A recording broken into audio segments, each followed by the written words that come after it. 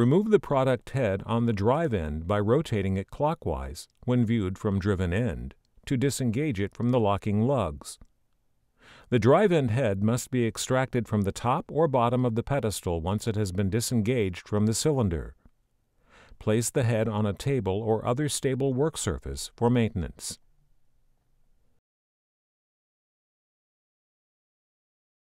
Inspect the product tube inner surface visually after the head and shaft have been removed. First, visually inspect the tube inner surface with a flashlight directed down the length of the tube from both the non-drive and the driven ends of the cylinder assembly. Another tube inspection technique is to reach into the tube at both non-drive and drive ends with your arm and run your fingernail down the length of the tube at the 12, 3, 6, and 9 o'clock positions to determine the severity of a groove. If your fingernail gets hung up in a groove, the tube should be carefully monitored and sent to SPX Flow for a formal inspection and disposition. The tube should have a smooth surface finish. If you observe scoring, gouging, and roughness, then replacement or refurbishment by SPX Flow can be considered and or arranged. When the surface of the plating is damaged or worn through from chipping or flaking, it may be re-chromed to original specifications by SPX Flow. For stainless tubes without chroming, inspect the tube surface for shallow score marks, gouges, or roughness. Minimal wear previously described can be taken out by honing the tube and then polishing. The grooving condition will only get worse over time, so frequent inspections will detect potential issues that can be addressed right away. Check to ensure that all supply lines to the unit are closed, locked, and tagged out, and make sure that the entire unit is purged of fluids. Remove the heads and shaft as described earlier. Remove locking latch and hardware holding the front cover.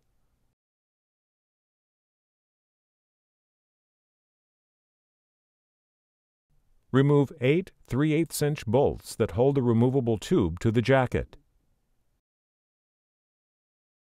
Take four jack bolts and thread into the B holes.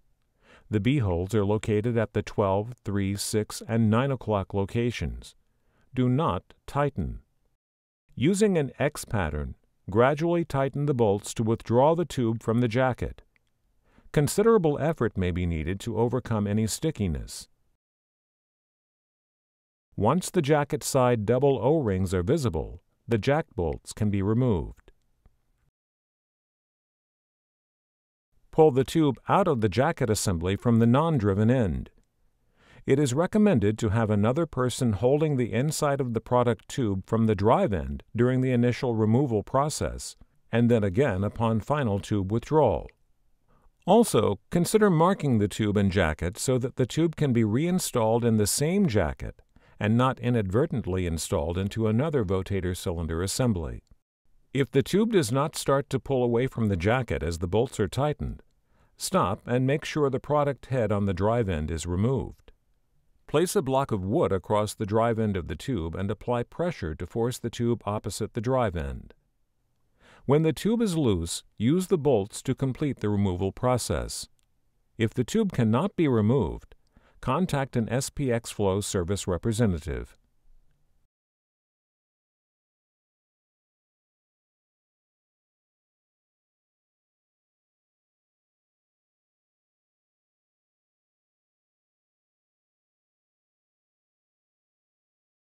Remove non-drive and drive-end O-rings and clean the O-ring grooves on the outer diameter of the product tube prior to installing new jacket side O-rings. Lubricate and install new jacket side O-rings on the product tube. Different size O-rings on non-drive versus drive ends.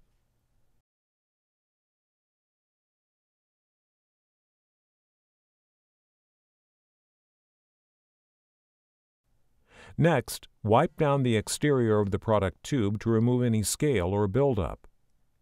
If the product tube is a BWS version, make sure to replace the packing gland. See Votator 2 O&M Manual. Inspect the jacket cylinder interior and wipe out all dirt and impurities. If O-ring sealing surfaces on the jacket cylinder are coated with debris, clean with a Scotch-Brite pad along the perimeter. Then lubricate O-ring sealing surfaces inside the jacket. Insert the product tube into the jacket cylinder from the non-drive end. The support pins on the heat tube should be at the 5 o'clock and 7 o'clock positions during installation. Push the product tube into the cylinder slowly with assistance on the drive end to guide the tube into place to avoid cutting the jacket side O-rings. Insert two jack bolts 180 degrees apart and thread them into the bolt holes designated for the 3 8 inch bolts.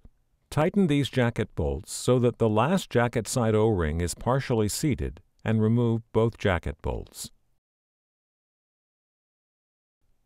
Thread the 8 3 8 inch bolts prepped with never seize through the flange of the heat exchanger tube into the jacket cylinder. Tighten all bolts in a crossing pattern until the tube is snugged down to the jacket cylinder. Use a torque wrench to tighten all bolts to 240 inch-pounds over 20 foot-pounds of torque. Install the front cover with the drain hole slot at the 6 o'clock position. Apply anti-seize to the three bolts used to secure the front cover and attach the latch hardware. Tighten all three bolts to secure the front stainless steel cover. To order genuine replacement parts or tools, contact your authorized SPX Flow sales representative or visit www.spxflow.com/wcb for more information.